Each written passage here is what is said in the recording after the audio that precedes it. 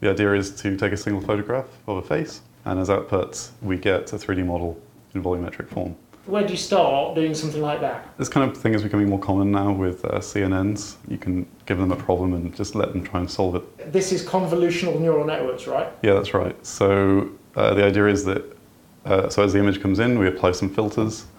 Um, the values of these filters are learnt through gradient descent, and Mike has a video talking about that. This is a research project then, yeah?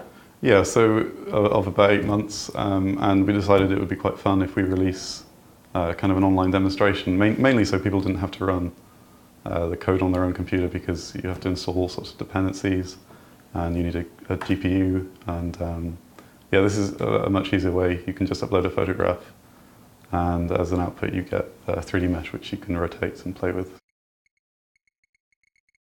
This is the object which you can download uh, and view in MeshLab. So if I also disable the colors, so this is the actual the, the object without without any texturing applied. The actual mesh which comes out of the network is um, slightly higher resolution than this, but because of demand we have to kind of compress it a bit. In general it seems to capture things like the mouth and the nose. Yeah, you can try and compare. yeah, so it's running on one of the GPU machines that we have in the in the group, and uh, I think at the moment it's processing maybe 80 photographs per, well, at, at a time, uh, maybe 3,000 per hour. This is a photograph of your face, and we have, I'm going to draw a magic box for now, and I'll try and fill it in in a bit. And so everything is coming this direction, and as output, we produce a cube.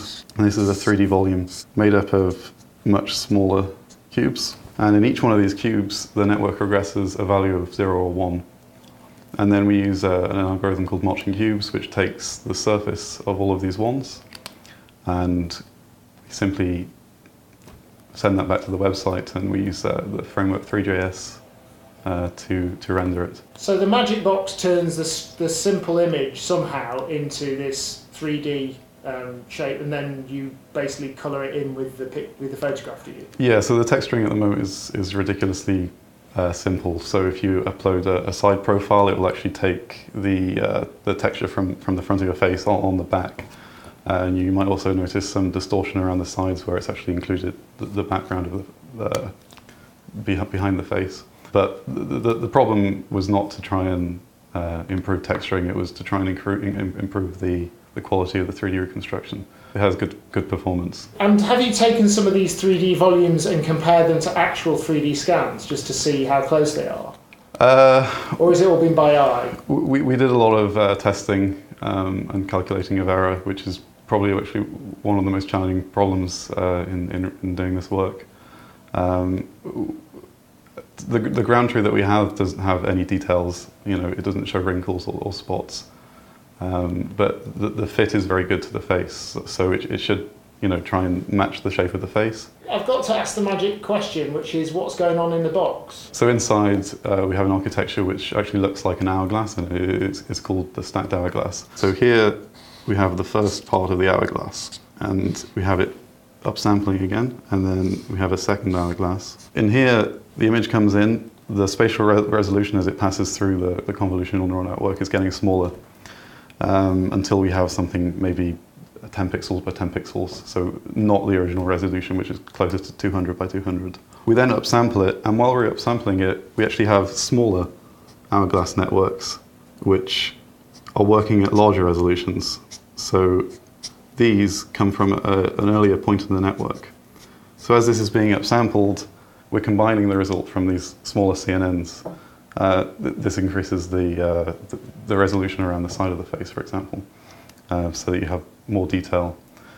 Uh, otherwise, you just get a blurry, blurry orb, basically. Yeah, so as you have these larger CNNs inside, these in increase the global context, so you know that the eyes are in the right place and that the mouth is below the eyes, for example. This then goes through another stacked hourglass network, which is identical, so it also has these smaller hourglass networks. And as output, we just take the 3D volume.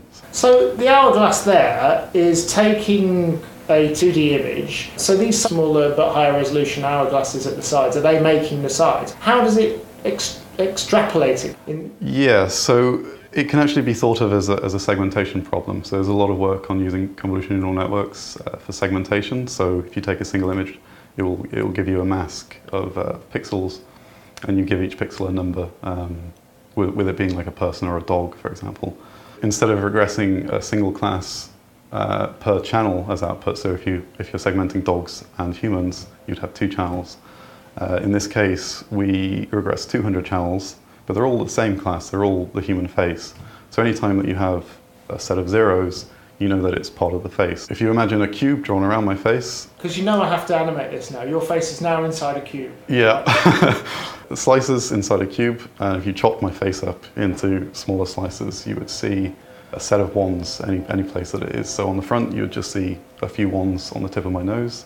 As you get towards my ears, you'll see kind of, you know, just ears around a, an oval shape, I, I suppose. It's working out what features the 2D image is of, and then it's putting those in the right place in 3D space. Is that right? Exactly, yeah. So before we, we process the image, we first move the face so that it's in the same sort of uh, spatial dim- dimension as, as the, the cube that we output.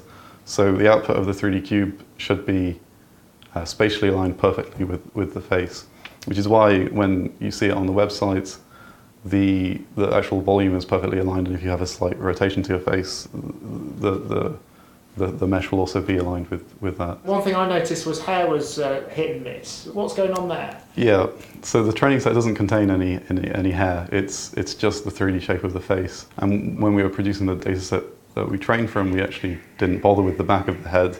It would be quite nice to have, have the back of the head as well. The problem is that since this is a volumetric problem, we actually have to produce these volumes, which means checking the voxels are inside the mesh or not.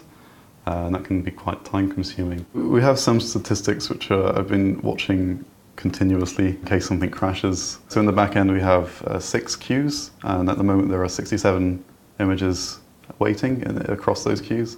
You can see that we've had 181,000 photographs uploaded. Uh, most of those have been since the 12th of September and today I think is the 19th, yep. Uh, so just in the past minute we've had 70 which have been uploaded. So that's why I feel sorry or bad for the, uh, the technical services.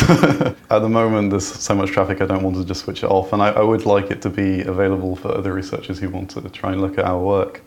Um, we'll, we'll see what happens, but I, I hope that we can keep it running. So. The reason why it doesn't work on the online demonstration uh, when you use a side pose is because the face detector we, we're using doesn't, doesn't recognize these faces. Uh, so instead of producing uh, horrible results, we would rather just make In it the look end, good. we end up with a much smaller image and lots of features going all the way back. So these are my different convolutions of convolutions of convolutions of convolutions.